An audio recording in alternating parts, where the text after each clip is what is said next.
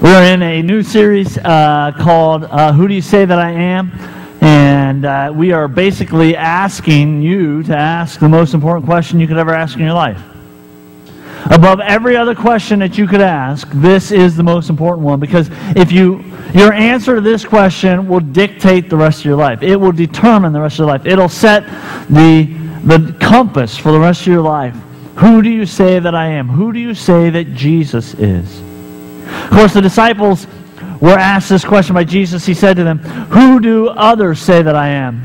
And they responded, Well, some say Elijah, some say a prophet, some even say John the Baptist back from the dead, which is pretty cool if you can be a guy back from the dead. But Jesus doesn't let the disciples escape with that. He always personalized it. And he turned to them and then said, But yeah, but who do you say that I am? Course, in the passage, Peter says, You are the Christ, the Son of God. And Jesus says, Blessed are you, Simon Peter, for you didn't come up with this on your own, but the Holy Spirit has revealed it to you. You see, this question determines everything in your life. It determines that you give up maybe two hours on Sunday morning and you go to this building and you gather with strangers that you might not have anything else ever to do with because they're weird. And you hang out and you sing songs and you, you listen to someone speak and you look at each other on the way home and you go, that was either good or bad, and you have roasted preacher for dinner. And then you're even more crazy because some of you are like so radically committed to the truth that you like give up 10% of your income. And you go, I'm going to go donate, donate that to the church, and they're going to do kingdom of God work. Why? Because I believe that the answer to who do you say that I am means that I got to behave this way. It means that some of you stayed in relationships that you should have walked away from. Some of you walked away from relationships that you should have walked away from a long time ago.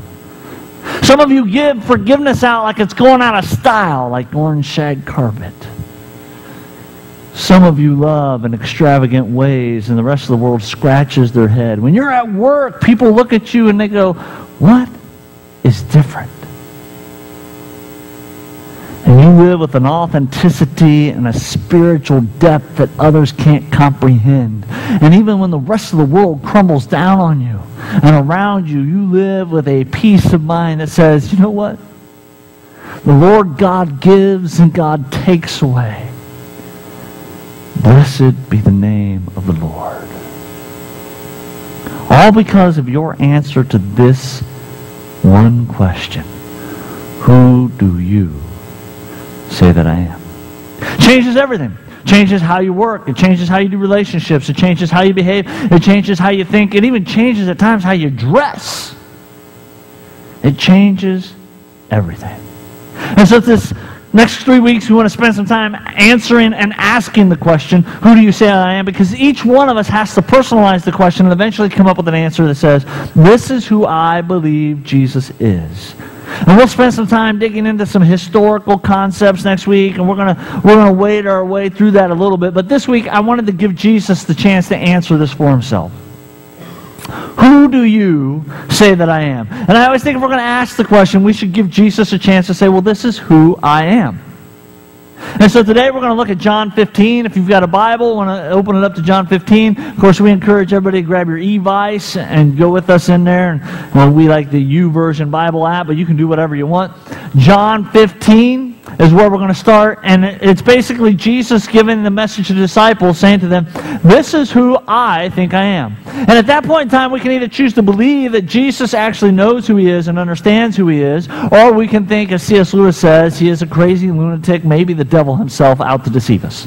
But we are not left with the option that he was a good guy or a good teacher.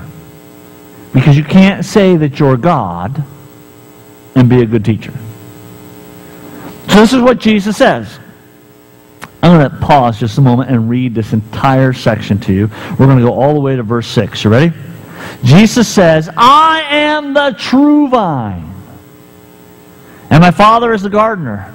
He cuts off every branch in me that bears no fruit. While every branch that does bear fruit, he prunes so that it will be even more fruitful. Did you know that if you have a grapevine, if you don't prune it, it won't bear fruit? If you just let it go, it'll just put out flowers. You actually have to prune, cut back the branch in order for the grapevine to produce fruit. He prunes so that it will be even more fruitful. You are already clean because of the word that I have spoken to you. Then Jesus says this Remain in me as I also remain in you. No branch can bear fruit by itself. Duh. It must remain in the vine. Neither can you bear fruit unless you remain in me. Last section. Then Jesus says this. Next slide. Go to my notes. I am the vine, you are the branches. I was trying to read it up there. Now I'm going to read it down here. I am the vine, you are the branches. If you remain in me and I in you, you will bear much fruit. Apart from me, you can do some things. You know, it's really scary when you read the Bible and it's an absolute. And what I mean by that is it's like always, nothing, never. I like to live in the gray area. And then Jesus gives us this as absolute. He says, apart from me, you can do nothing. If you do not remain in me, you are like a branch that is thrown away and withers. Such branches are picked up and thrown into the fire and burned. Now let me just pause real quick and let me crawl into one piece of this that is huge before we get into the whole uh, simile of what it means to be branches and vines. Jesus starts off the whole message with this claim, I am. He says the true vine. But every one of Jesus' listeners at the time would have heard Jesus immediately say, I am. And the Greek word Jesus used there, they all would have paused and went, wait a second, did he just claim to be God? He just, did you hear that? He just said I was God. Not a single listener at the time of Jesus would have been confused as to what Jesus thought about himself. Now, this is important and huge because here's what I want you to do. I love working with, with new Christians. I love working with our high school, middle school kids because they ask questions that those of us who have been in church a while, we kind of forget to ask and we gloss over.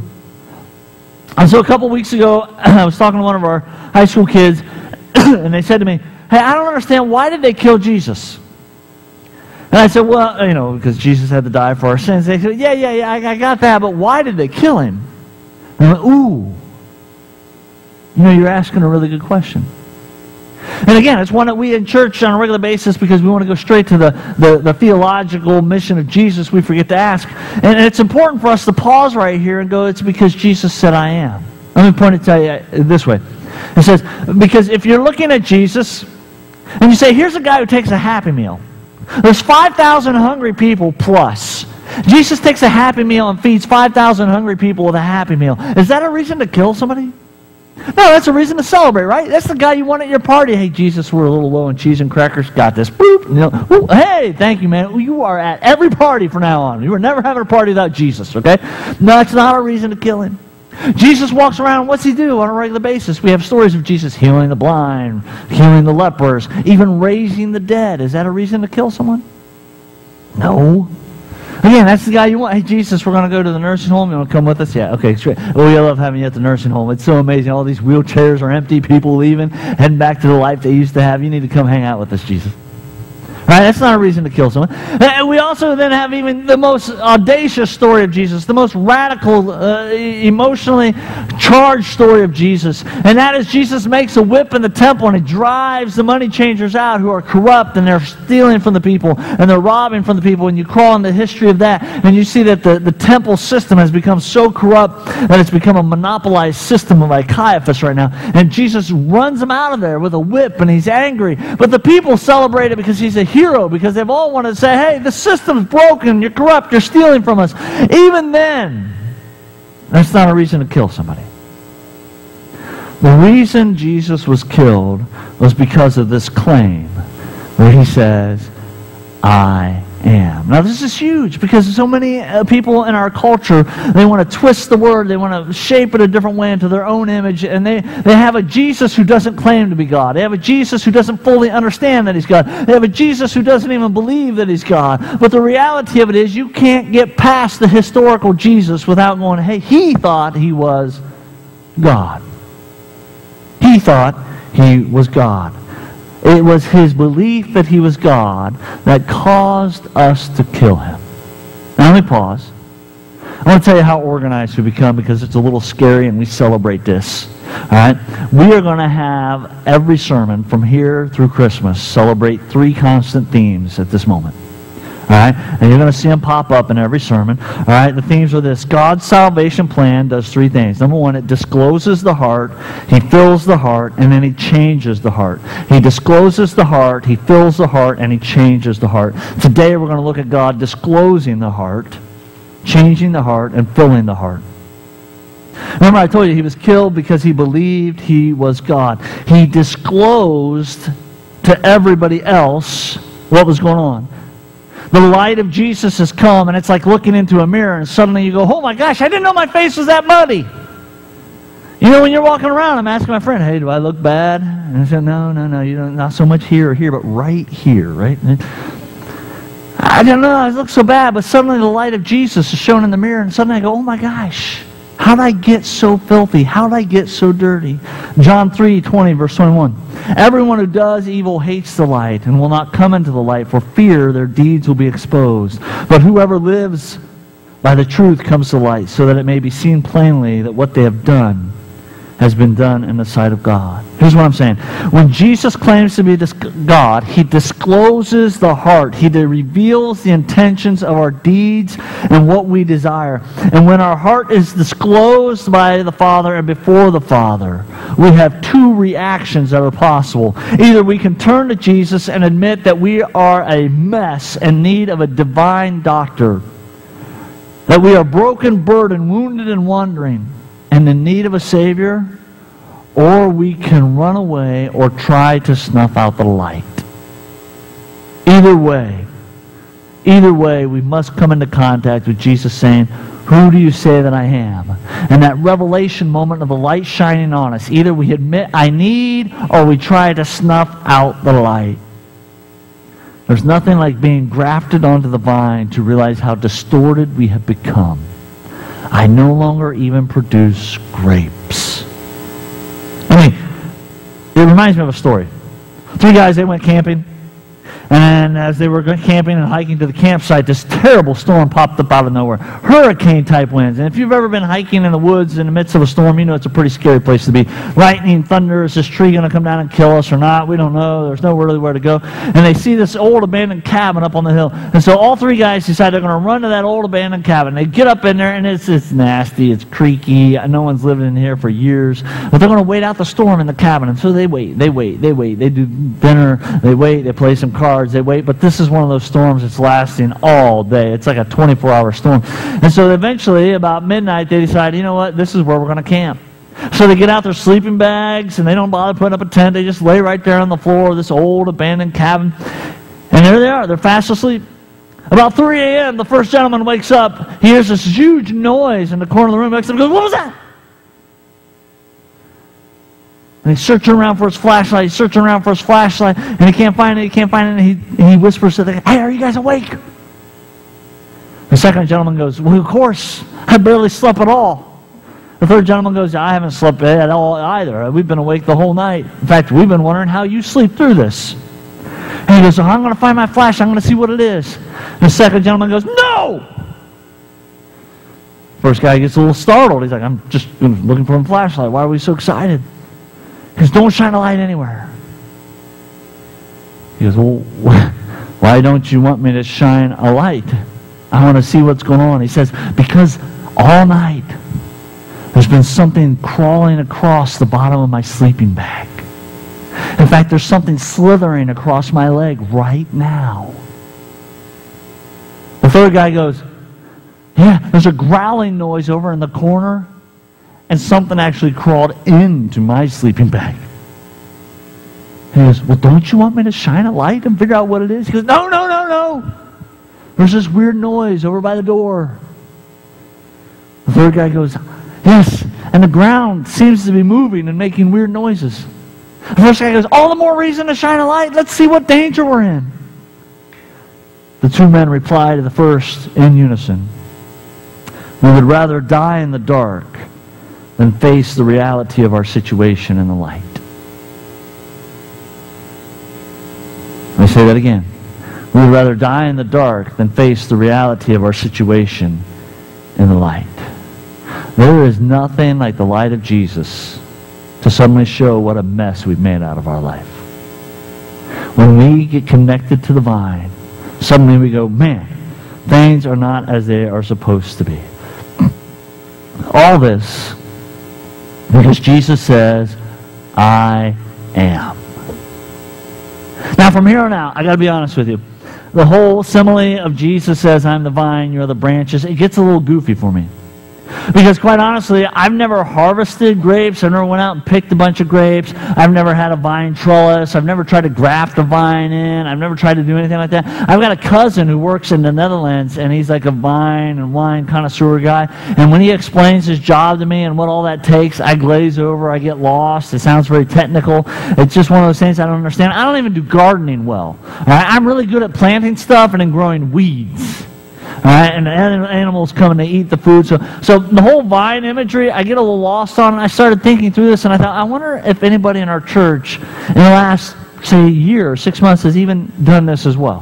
How many of you on a regular basis see vines? How many of you see vines that you're growing, that you're grafting, that you're caring for, that you're pruning? And at that point in time, I thought, you know what? This is, this is good stuff. I mean, it's historical. Jesus is referencing the history of Israel being called the, the, the vineyard and, and the vines. And so there's a lot of history in what Jesus is saying. And I don't want to, I don't want to downplay any of that, but I, I wondered what would it be like to modernize this so that it makes sense?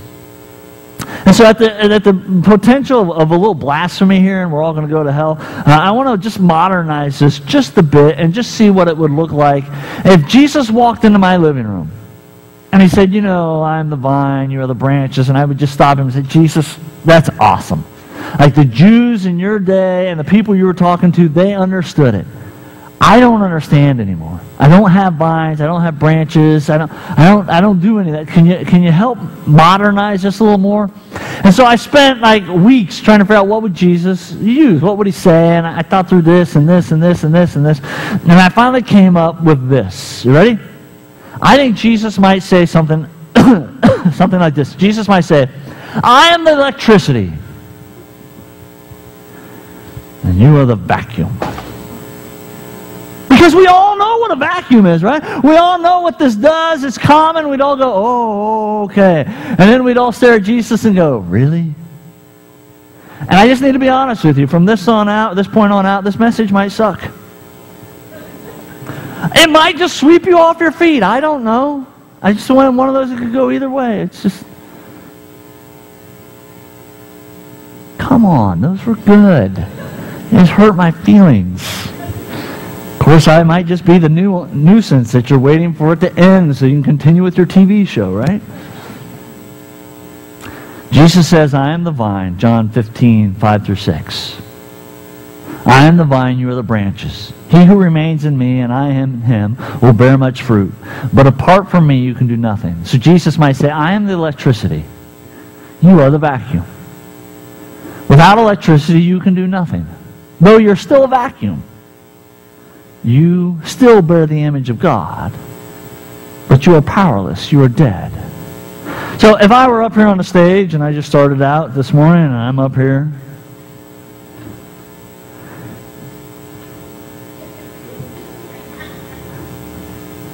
and you walked in and you saw me doing this, first of all, half of you that know me well would be like, you know, anybody else doing that, that would seem weird. But, you know, it's, it's Aaron. It might be something normal. I wonder where he's going with that, right? And then, and then up here, I might even do this. If I wanted to really fool, him. I might go,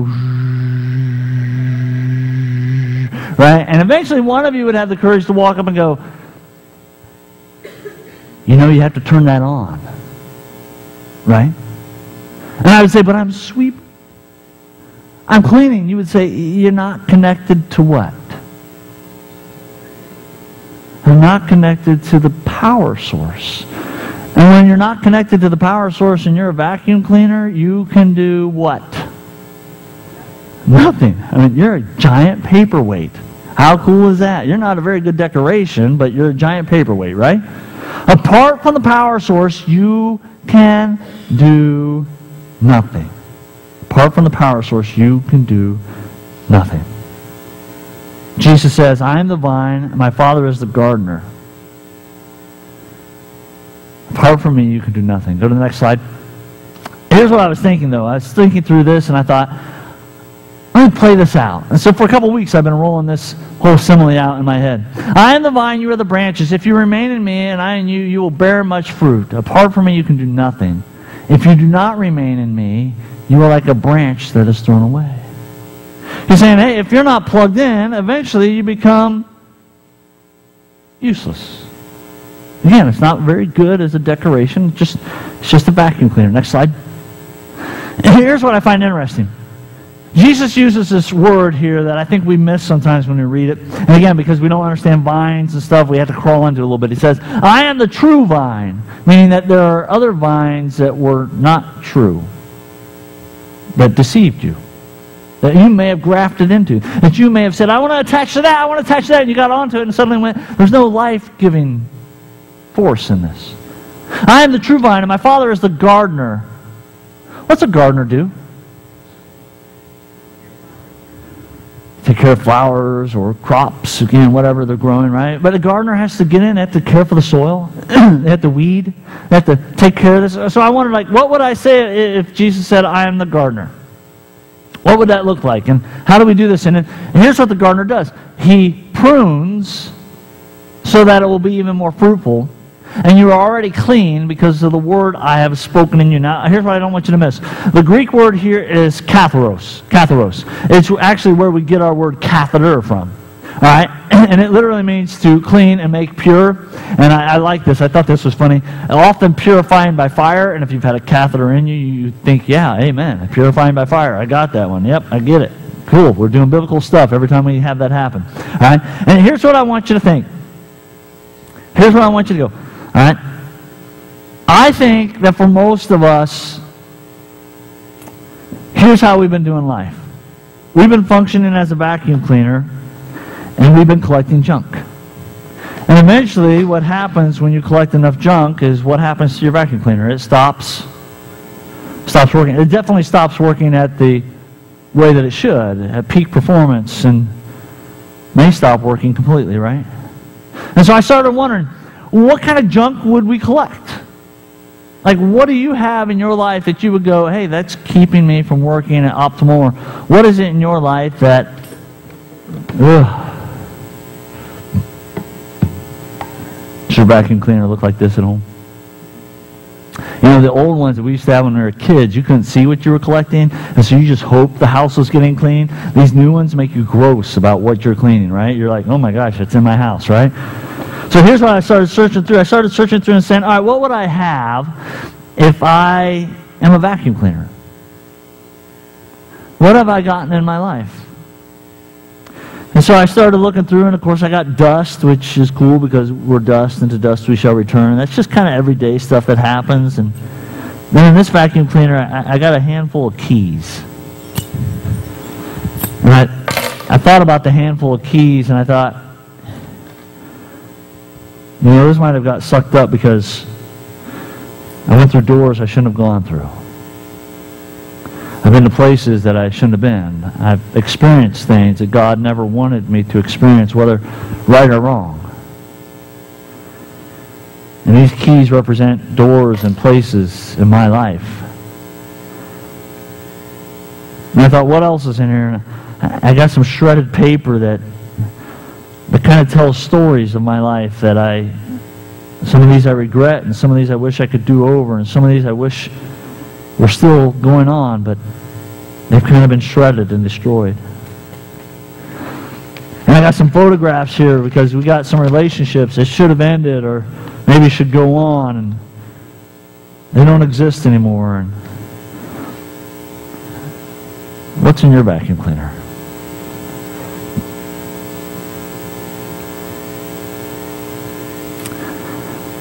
And I started to think how often many of us, as we're revealed to the light, and suddenly God discloses who we are, that we begin to go, there's no way you can love, there's no way you can care for me, there's nothing you can do. But we forget that God says, I have come to katharos, to clean, to make whole, to purify. Because after all, Jesus says God is the gardener, right? And so again, if we're going to stick with the change and simile, if we're the vacuum cleaner, Jesus is the electricity, God's the. Now God becomes the designer, right? He becomes the manufacturer. He becomes the creator. He becomes the, the, the one who put it all together, who knows the plan, who knows what's going on. Jesus says, I am the true vine, and my Father is the gardener. And what I think by that is I think that I'm saying to God at times, like, hey, I've just made a mess of my life. I don't even know if you can fix it. And I just started having more fun with the imagery because I thought, you know, this is the way most of us do sin. We go to the cross and we surrender to Jesus our life and our mess and everything, and we lay it down. We've been to some service and we walk away going, thank you, God, for the healing and stuff. And then we get ready to leave and we're all excited, like, yeah, I'm free, I'm free, I'm free. And then we look back at the mess.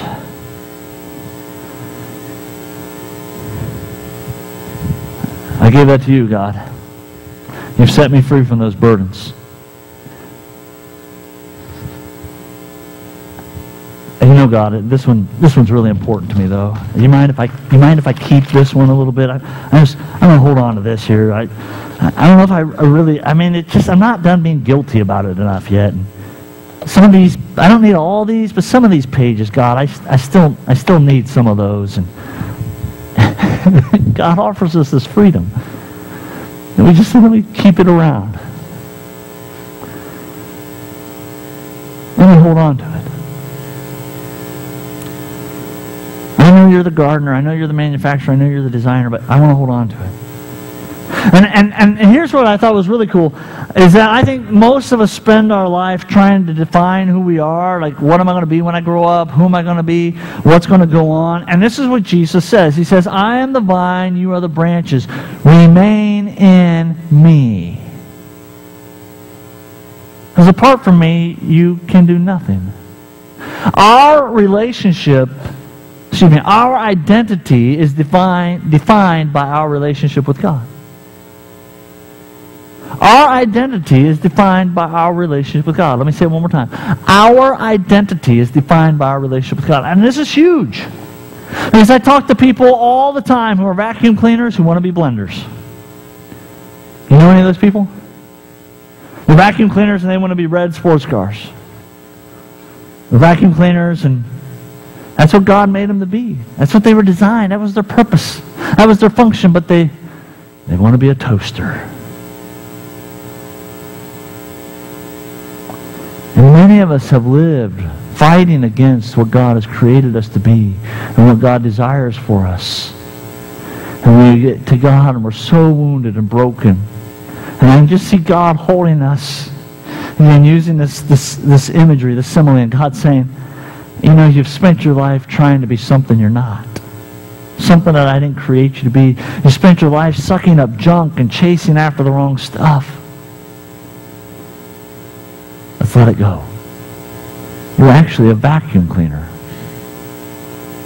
That's what I made you to be. I can fix you. I am the gardener. I can fix you. I am the repairman. I am the designer. I am the manufacturer. There is nothing in you that I don't know. I put every piece of you together.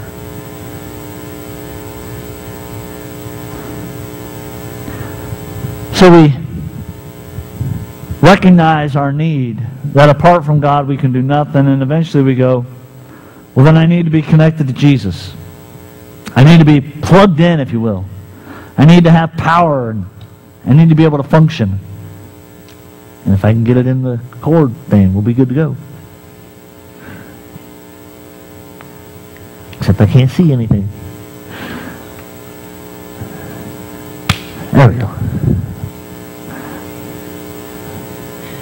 And Jesus says, I am the vine, you are the branches. Apart from me, you can do nothing. But when you're connected to me,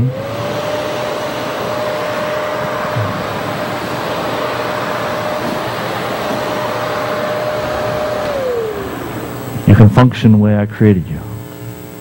Ten bucks an hour, I can come to your house too.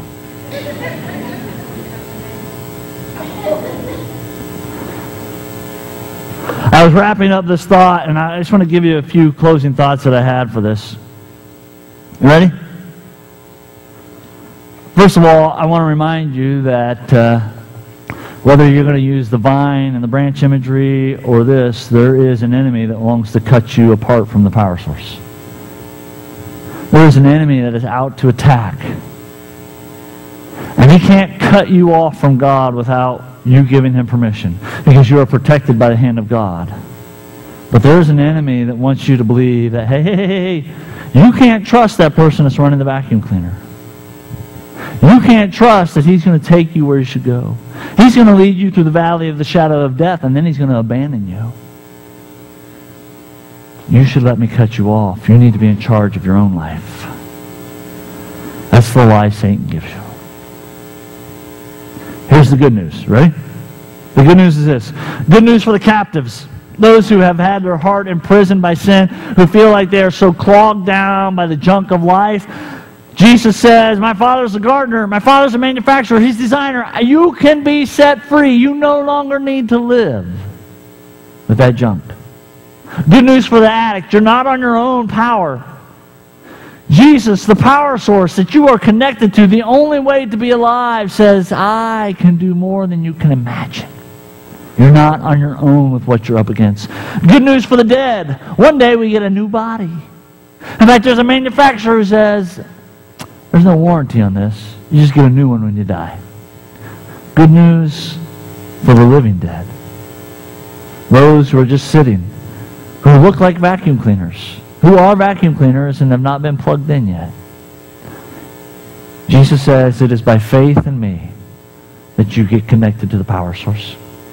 Good news for those who've been abused, misused. Maybe they abused and misused themselves. For those who are broken, burdened, wounded, and wandering like me. The manufacturer and designer knows your purpose, and our eternal life goal is to honor him.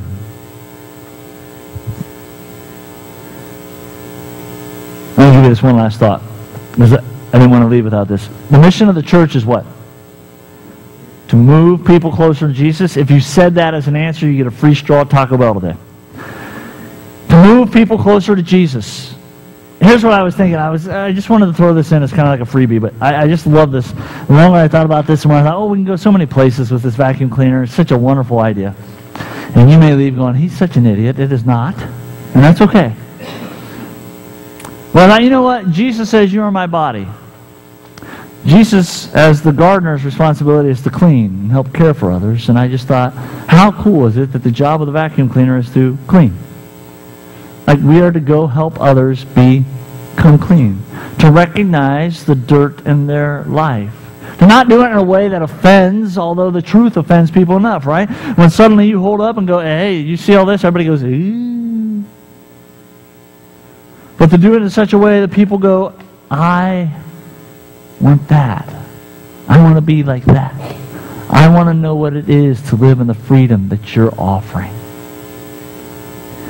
Jesus says, Seek first the kingdom of God, and all things will be added.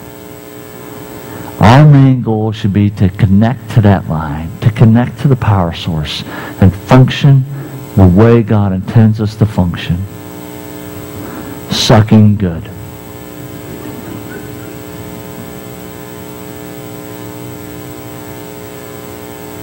Pray with me?